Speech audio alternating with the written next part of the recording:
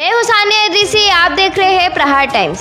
महाराष्ट्र के मुख्यमंत्री एकनाथ शिंदे के नेतृत्व वाले बाला साहेब आंची शिवसेना गुट को शीतकालीन सत्र के पहले दिन सोमवार को नागपुर विधानसभा परिसर में शिवसेना के मौजूदा कार्यालय का कब्जा मिल गया है। शिवसेना के दोनों खेमों के कार्यकर्ताओं के बीच कार्यालय को लेकर काफ़ी लड़ाई भी हुई थी।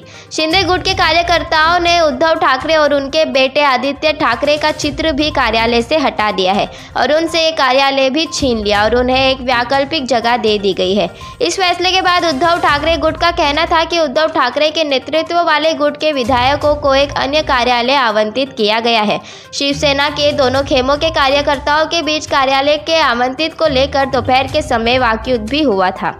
इस कार्यालय का शिवसेना तीन दशक से इस्तेमाल कर रही थी। वहीं दूसरी ओर महाविकास अघाड़ी के विधायकों ने सोमवार को सीमा विवाद सहित विभिन्न मुद्दों पर महाराष्ट्र सरकार के खिलाफ नागपुर विधान भवन की सीढ़ियों पर धरना दिया है।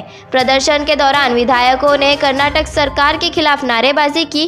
पहले ही दिन महाविकास अघाड़ी के विधायकों ने विपक्ष के नेता अजीत पवार और श्री अंबादास दानवे के नेतृत्व में शिंदे सरकार के खिलाफ जोरदार विरोध प्रदर्शन किया है।